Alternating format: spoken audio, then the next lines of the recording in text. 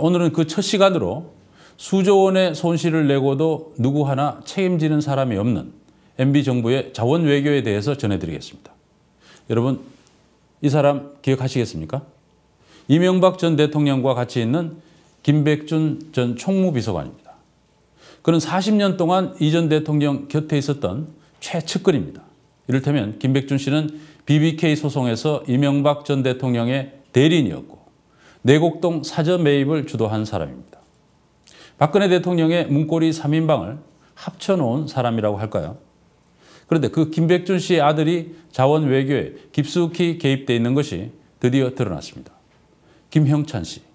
그 이름이 나올 때마다 정부는 자원 외교와 무관하다고 부인했는데 이번에는 뭐라고 할지 봐야겠습니다.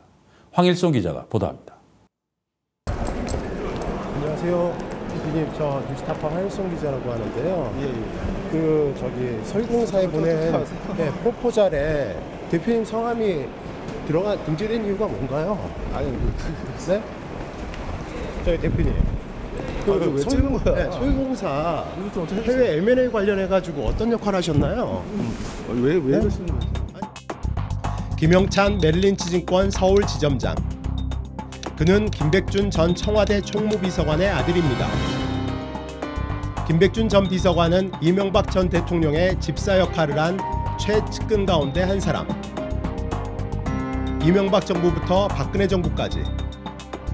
정부의 공식 문건에는 김영찬 씨가 석유공사의 하베스타 인수에 관여하지 않았다고 나와 있습니다. 수조 원의 국부를 탕진한 해외 자원개발 사업과 권력 실세와의 연관성을 차단하기 위한 것입니다.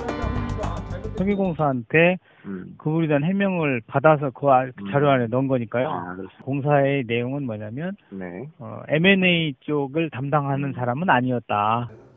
그러나 뉴스타파 취재 결과 그건 사실이 아니었습니다.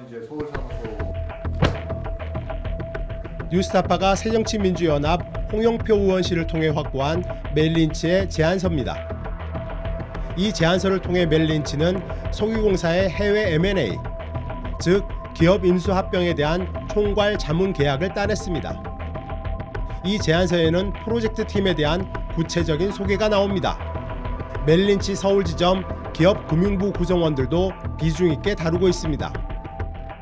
산업통상자원부가 하베스트 인수와는 관련이 없다고 결론 내린 바로 그 실무팀입니다.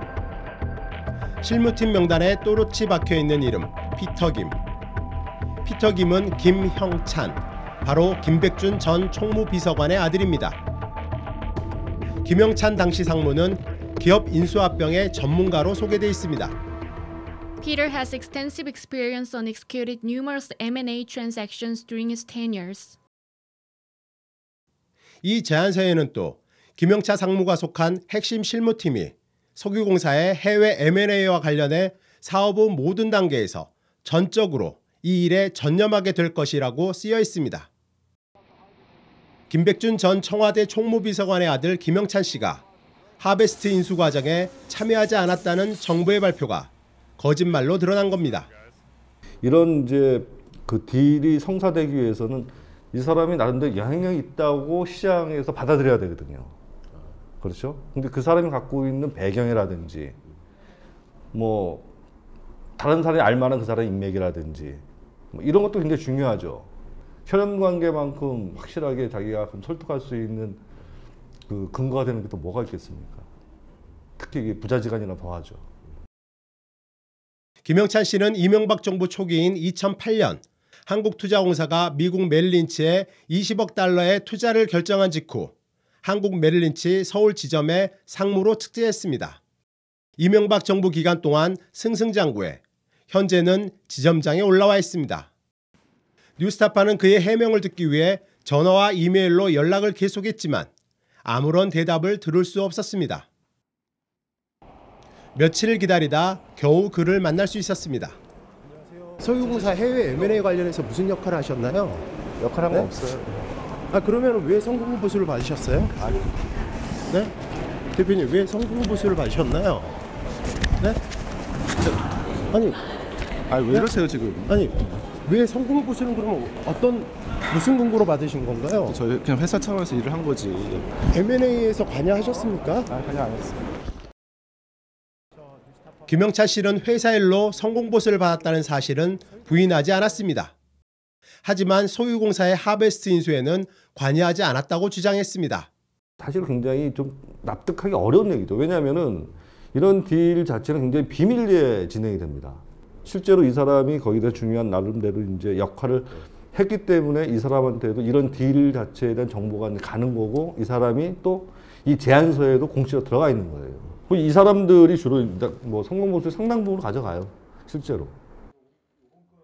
뉴스타파는 김영찬 씨가 성공보수를 받았다면 어떤 이유에서 받았는지 추적하다 이상한 점을 발견했습니다. 석유공사와 하베스사 간의 M&A가 성사된 뒤 멜린치가 석유공사에 보낸 80억 가량의 성공보수 청구서입니다. 이 청구서에는 미국 메릴린치가 아닌 서울 지점의 직인이 찍혀 있습니다. 그런데 석유공사와 자문계약을 맺은 상대는 메릴린치 서울 지점이 아닙니다. 계약서에 서명한 인물은 멜린치 미국 팀의 실무를 맡은 팀 섹스맨. 표면상의 계약 주체는 미국 팀인데 성공 보수를 요구한 것은 서울 지점인 겁니다. 당시 석유공사에 성공 보수를 청구했던 안성은 당시 멜린치 서울 지점장과 어렵게 연락이 닿았습니다. 한국 입장에서는 되게 황당했던 딜이었어요. 왜냐하면 딜이 깨졌는데 갑자기 나중에 뭐 며칠 있다가 딜이 됐다고 미국에서 연락이 왔더라고요. 그래서 한국에서는 아니 한국 딜인데 어떻게 한국에 연락을 안 하고 딜을 할 수 있냐고 그래갖고 제가 한 미국 팀에 그 화를 냈던 기억이 있어요. 미국 팀한테 이게 니네가 해서 공을 니네가 세우려고 어떻게 한국을 빼돌릴 수 있냐 이런 식의 항의를 했었던 딜이에요. 석유공사의 하베스트 인수를 성사시킨 핵심적인 역할은 메릴린치 서울 지점이 했다는 겁니다. 안성은 전 지점장은 또 김영찬 씨가 석유공사와의 계약이 있기 전에는 주로 게임과 인터넷 사업 분야를 담당했다고 뉴스타파 취재진에게 털어놨습니다. 소유공사는 이 사, 이 건이 있기 전에는 김영찬 상무의 이름도 몰랐어요. 김영찬 상무의 그 메릴린치에서 역할은 사실은 게임이라든가 인터넷 쪽에 그래도 나름대로 경험이 있었기 때문에 그쪽을 전담 주로 보는 뱅커였었죠.